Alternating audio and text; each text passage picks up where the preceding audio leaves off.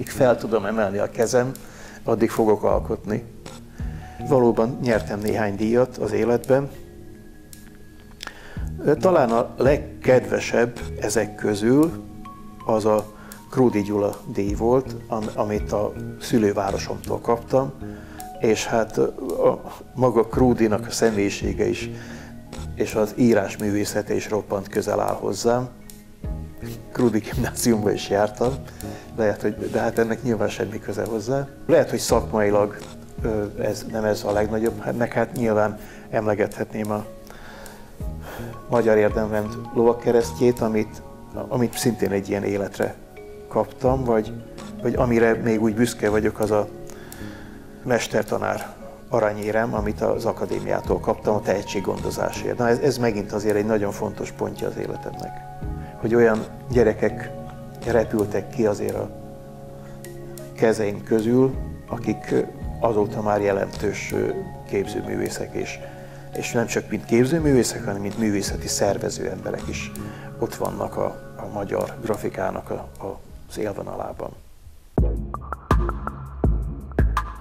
Ha visszagondolok a, az általános iskolai éveimre, tehát nagyjából a 10-14 év közötti időszakra, akkor biztos, hogy volt egy nagyon fontos momentum, ami meghatározó szerepet játszott a későbbi életem során. 14 éves koromban különös események folytán, ezt most nem részletezem, Zánkára kerültem egy az úttörő városba, ahol történt egy olyan esemény, hogy gyermekszereplőket kerestek egy tévéműsorhoz. És hát erre jelentkeztem és kiválasztottak. Ez egy hosszabb történet volt, utólag tudtam meg, hogy több száz gyerekből választották ki azt a hét szereplőt, tehát ez önmagában is érdekes. Na és ez a képzőművészeti filmsorozat, vagy gyermeknek szóló filmsorozat a Varázsoló címet viselte, és akkor olyan kiváló emberekkel kerültem kapcsolatba, akik a későbbi életem során is meghatározó szerepet játszottak, többek között Farkas Ádám szobrászművész, aki jelenleg is kiváló egészségnek örvend, a Művészeti Akadémiának az alelnöke, illetve hát a forgatókönyvíró a Szabados Árpád volt, aki munkácsedíjas grafikus művész, kiváló ember, kiváló művész, illetve Rádai Mihály, és még sorolhatnám, tehát volt egy jó néhány olyan ember, aki, aki nagyon nagy és mély hatást tett rám, és abba az irányba terelt, hogy, hogy már 14 éves koromban elhatároztam, hogy én kifejezetten csak ezzel akarok foglalkozni.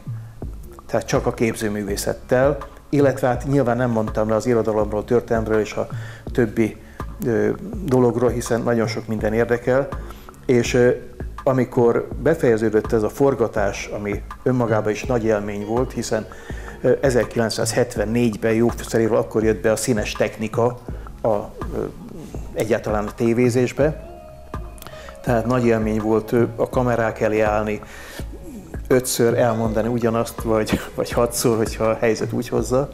Tehát miután elhatároztam, hogy ezzel fogok foglalkozni, megkerestem a városomban, itt Nyíregyházán, Berec András festőművésznek a szakkörét, és innentől kezdve tudatosan készültem erre a pályára. Engem nagyon sok minden érdekel, és érdekelnek a legújabb technikák is. A, valamikor a doktori diszertációmat is ebből írtam, tehát a, a tradicionális grafika és a úgymond digitális grafikának a kölcsönhatásait vizsgáltam. Tehát nagyon sokfajta technikával dolgozom, tehát nagyon szeretem az akvarelt, a pasztelt, az olajat, de túlnyomó rész mégis metszetben, linometszetben, fametszetben gondolkodom. Talán ott érzem leginkább magamat otthon, de mindazok a a dolgok, amelyeket felfedezek a többi technika kapcsán, azok átszűrődnek a metszetbe is. És ezért van az, hogy amikor tanítok, akkor is nagyon erőteljesen törekszem arra, hogy minél többfajta technikát megismerjenek, használjanak, mert benne kell valahol, hogy megtalálják saját magukat. Nálam a, a maga a tanítási része, most legyen az szó arról, hogy akár elméleti, művészettörténet, vagy a grafikának a tanítása, és maga a gyakorlása mindennek, tehát az, hogy foglalkozom kutatással, írással, grafikával, ezek teljesen egybeolvadnak, egyikből következik a másik. Mert amikor én megfogalmazok valamit, most akár a reneszánszban gondolkodva, a perspektíváról, hogy a perspektíva nem csak önmagában létezik, az nem csak egy leképezés, hanem egy szimbolikus forma is, és annak a korszaknak, a korszak emberének a tudatállapotát jeleníti meg.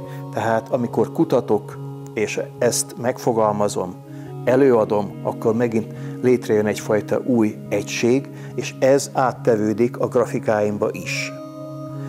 Amikor grafikát tanítok, közben el kell, hogy mondjam, hogy mi, miért és hogyan történik, akár technikailag, akár kompozícióban, de ezzel én magam is gazdagodok. Tehát akkor magamra nézve is pontosabban megfogalmazok dolgokat. Tehát a kettő, három, négy, lehetne ezt tovább ragozni, azok teljesen összeállnak egyfajta sajátos egységé, egyik a másik nélkül nem létezhet.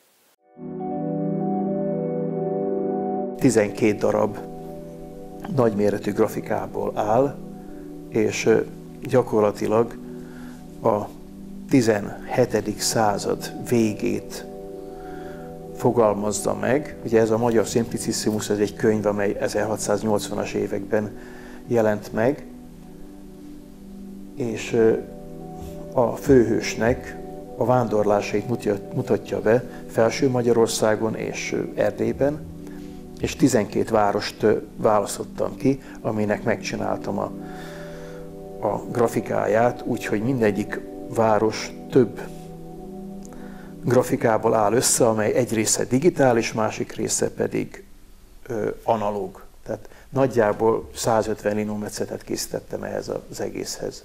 Tehát nagyon nagy munka volt, de nagyon élveztem. És arról szól az egész dolog, hogy gyakorlatilag a 17. században, tehát ugye az 1600-as években ezek a városok jelentették a magyar kultúrát, amely városok már nem tartoznak a mai Magyarországhoz. De hogyha ezek a városok nem viszik tovább a magyar kultúrát, a mai Magyarországon semmi nem marad, mert a mai Magyarország 90%-a, tehát a Dunántúl egy csücskét leszámítva, mint hódolsági terület volt, gyakorlatilag néptelen. És ezért gondoltam azt, hogy Pozsonynak, Nagyváradnak és a többi városnak, Kassának és így tovább, ezeknek emléket kell állítani. Tehát ez egy másik olyan feladat volt, amely, amelyet úgy szívesen csináltam, és arra büszke is vagyok. Az különben a Művészeti Akadémiának a, az ösztöndíja tette számomra lehetővé, hogy ezt elkészítsem.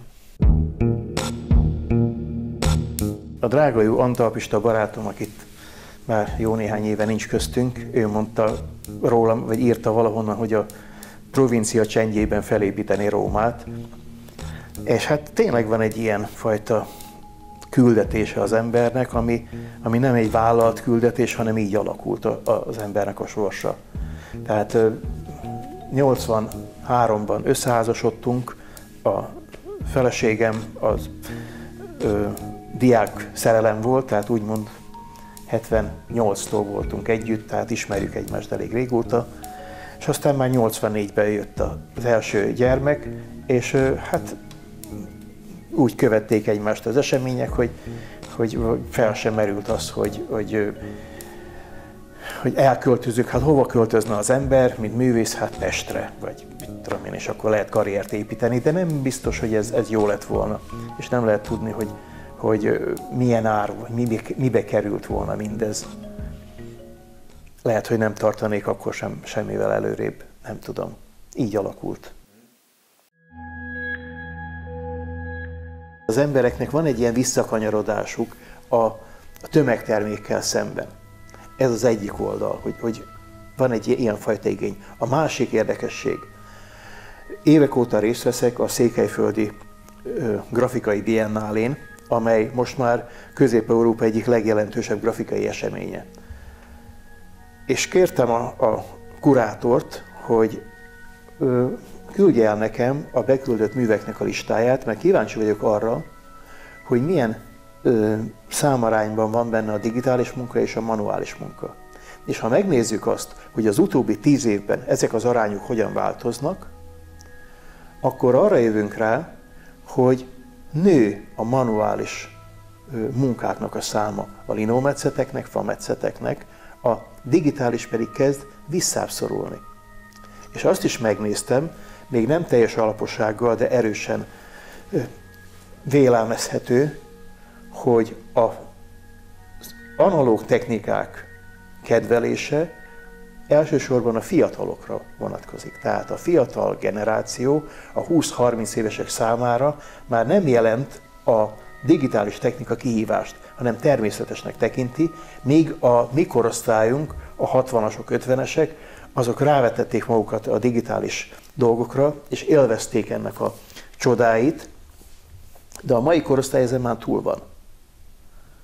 Úgyhogy úgy érzem, hogy ez az egyik oldala az, hogy, hogy igenis az emberekben van egy alapvető igény a kézművesség iránt, mivel mindent meg lehet csinálni digitálisan. Tehát most, ha nézem a mesterséges intelligenciát, hát most már arra kell kiképezni embereket, hogy meg tudják különböztetni a mesterséges tavolóságtól. De amikor valaki megcsinál egy fametszetet, és érzi az anyagnak az ellenállását, és azt a csodát, hogy, hogy befestékezem, és lenyomtatom, és, és ott van előttem, és csinálhatok akár még egyet. Tehát ez, hogyha megtapasztalják a fiatalok, és legyen az bármilyen, ö, akár nem szakmabeli, hanem csak sima átlagpolgár, ezt, ezt át fogja érezni, ezt a gyönyörűséget. És az, hogy valamit a semmiből megteremtek.